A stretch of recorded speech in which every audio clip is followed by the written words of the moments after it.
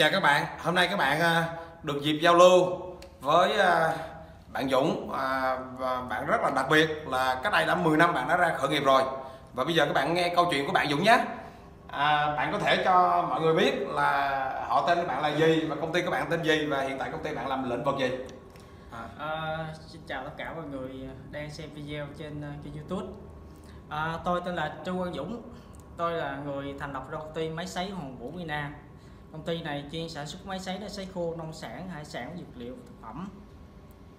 à và cái công ty mình nằm ở đâu À, công ty uh, công ty hiện tại bây giờ uh, là ở bên quận 9 nhưng mà mình đang chuyển cái xưởng qua bên Dĩ An Bình Dương. à, à bạn ra là đã chục năm rồi đúng không Dạ, em khởi nghiệp là, là 10 năm rồi. Wow, cái, cái, cái đây là một cái thâm niên nó rất là lớn. Vậy thì cái động lực nào, cái điều gì mà làm cho bạn ra khởi nghiệp ờ, từ rất sớm vậy? À, từ khi ngồi ghế nhà trường đang học lớp 12 á thì có một thằng bạn nó nó nó nó hỏi mình nó hỏi là mai mốt mày ra rồi mày mày làm cái gì thì mình mới trả lời là tao ra ờ, tao ra tao sẽ mai mốt tao sẽ làm ông chủ nhưng không làm được ông chủ lớn thì tao sẽ làm được ông chủ cho bé À, và chính vì cái động lực cái, cái là bạn ra. À, và từ cái lúc mà ra, thực sự là cái đây 10 năm ra là rất là nhiều cản trở, đặc biệt là gia đình, dòng họ, bạn bè. Thì thì thì thì làm sao mà bạn vượt qua được cái cái cái cái, cái lực cản đó? thì ờ, cái cái khi mà ra khởi nghiệp á thì mình có khả năng cái cái tự lập từ nhỏ nên mọi quyết định của mình thì ba mẹ luôn lúc nào cũng tôn trọng hết nên mình muốn làm gì thì mình thông báo trước là mình làm thôi không, À. không có bị vấn đề cản trở gì hết À, bạn bè bạn lúc đó nó có chửi bạn là nhỏ và đua đòi được không? không Bạn khá thuận lợi ha. Vậy thì những ngày đầu ra khởi nghiệp bạn có khó khăn gì nhiều không? khi ra khởi nghiệp á, thì nó gặp nhiều vấn đề khó khăn tại mọi thứ mình làm theo cái kiểu bản năng của mình mình chả có học thành qua cái bài bản kiến thức khởi nghiệp gì hết thấy người ta Ừ. làm sao thì mình bắt chước làm vậy thôi à, thì khó khăn nhưng mà ra đi kiếm mặt bằng để kinh doanh thì mình cũng lúc đó thì mình cũng chẳng biết mình có đọc qua sách sơ sơ là cái cách khởi nghiệp rồi phải đi tìm mặt bằng lợi thế như thế nào tìm kiếm khách hàng như thế nào và xong cái mình ra mình làm thôi mà trong khi làm thì nó gặp nhiều vấn đề khó khăn tùm lum hết tại vì mình thiếu kiến thức quá nhiều À, ví ví dụ bạn kể những cái khó khăn lúc đó, cái khó khăn nhất đó là cái gì?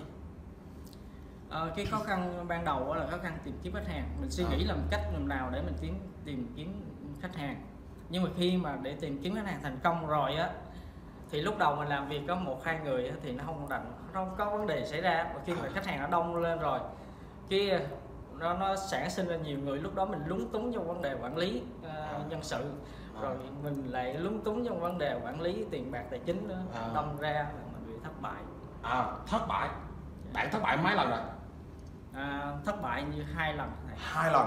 cái ờ, cái lần thứ nhất á là mình ra mình làm được một số vốn tự nhiên cái mình nghĩ mình đầu tư vào cái ngành khác À, khi mình không có tập trung vào nó nên bị thất bại Ừ. cái cái thất bại thứ hai là vấn đề quản lý nhân viên nữa à, công việc nhiều quá là nhân viên nhiều lên thì mình lúng túng quản lý không được không có À. kiểm soát được mình không có lãnh đạo được À. thất bại sau thất bại đó bạn học được những gì?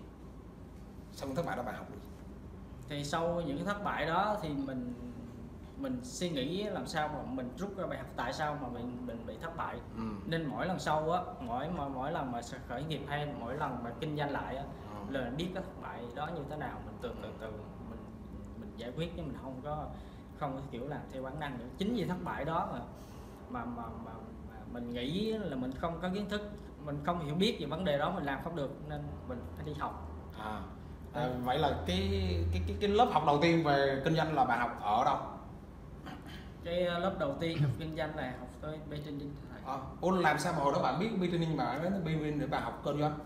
cái ờ, em lên Facebook em À. xem em gặp em gặp và trước kia đây cũng có một người bạn học về training mà em À. không có quan tâm gì gì, gì vấn đề đó nhiều nhưng mà khi ra- ra làm kinh doanh không được em quyết định em phải đi học đi À. học để biết làm kinh doanh À, và em em mới tìm tới ờ, tìm tìm trên Facebook và gặp thầy à, à, bạn có thể chia sẻ cho mọi người biết rằng là vì sao bạn chọn cái ngành kinh doanh à, về máy móc nó như vậy? Bạn là dân kỹ sư về lĩnh vực đó hay sao? vậy cái cái cái đam mê nghề nghiệp hồi xưa là lúc trước là em làm kinh doanh máy điều hòa nhiệt độ sửa chữa máy lạnh à thì ờ, mình là dân kỹ thuật chuyên kỹ thuật mình đam mê vào nó khi mà mình thấy công việc của mình nó lặp đi lặp lại nó nhàm chán quá rồi chẳng À. có gì để làm nữa tự nhiên mình nghĩ qua cái cái là à, nghiên cứu và sản xuất máy sấy. À. Khi mình thâm nhập vào cho cái cái ngành máy sấy mình thấy nó nó có nhiều tiềm năng quá.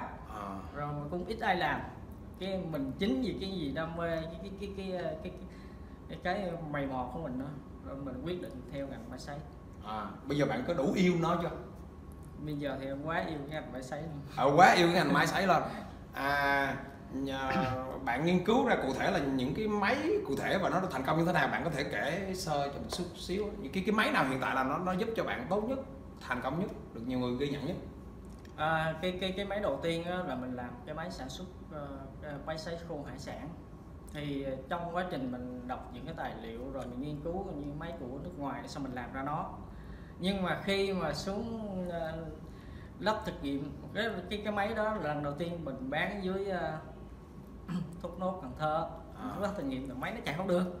À, tại vì mình mình mình mình làm ra cái máy được.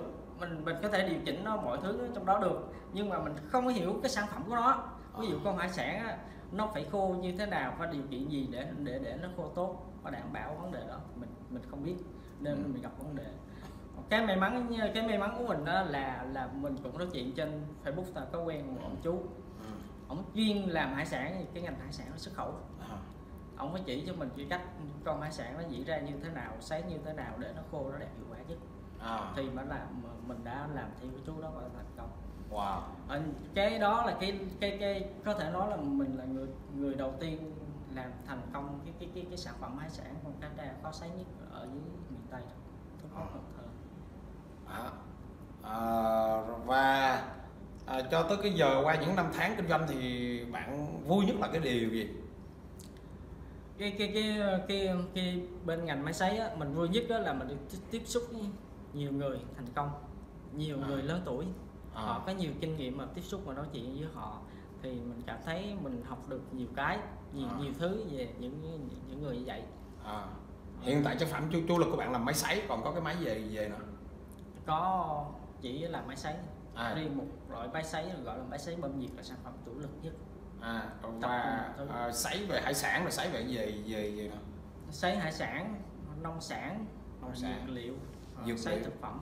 À vậy là hiện tại chủ lực vẫn là máy sấy. Dạ. à, à mọi người mà muốn tìm hiểu về bạn thì ừm, mọi người đi đâu để biết?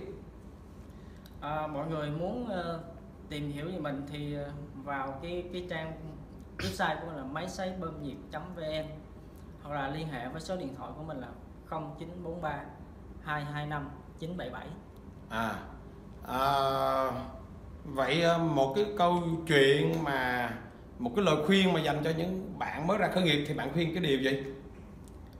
À, mình có một lời khuyên cho các bạn ra khởi nghiệp đó là cái lòng kiên trì và quyết tâm. Với mình phải thật sự yêu cái cái cái sản phẩm cái nghề nghiệp của mình. Mình và mình à, phấn mình phấn đấu và quyết- quyết tâm tới cùng những những gì mình đã làm những gì mình mong muốn chắc chắn mình sẽ thành công. Không sớm thì muộn. À, à, à hiện tại bạn có gia đình chưa? À, hiện tại thì à, mình có gia đình với một à, đứa bé được 4 tuổi rồi. Ừ, vợ đâu có ủng hộ không?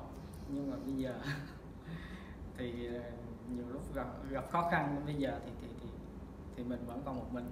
À à bây bây bây giờ thì à, những cái lúc khó khăn còn còn mình à. Có phải là do việc kinh doanh không và cũng do một phần gì kinh doanh kinh doanh của mình thất bại nên Ừ. nó xảy ra nhiều vấn đề. À, à và à, cái cái đó là một cái câu chuyện buồn của người làm kinh doanh đúng không? À, đôi khi chúng, chúng ta cần phải trả giá. À, vậy thì à, nếu mà có một người mà họ muốn họ xem đoạn video này họ muốn bạn tư vấn họ muốn hỏi về gì bạn thì bạn có sẵn sàng chia sẻ không? Dạ, sẵn sàng những À. cái cái gì mà mình biết mình có thể là mình sẵn sàng luôn sẵn sàng chia sẻ. À vậy thì các bạn cứ liên hệ với bạn Dũng à, qua cái website à, qua cái Facebook qua cái số điện thoại vừa rồi bạn đọc đó. Và có dịp thì các bạn sẽ nói chuyện sâu với bạn Dũng nhiều hơn. Đây là đoạn video giới thiệu sơ về bạn Dũng. Và mình cũng rất là vui trong quá trình làm kinh doanh của bạn Dũng à, mình góp phần đồng hành cùng với bạn.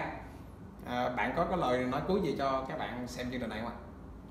À, mình cảm ơn các bạn đã chú ý theo dõi cái chương trình này ừ. xin chào rồi bye bye các bạn nhiều Bye bye.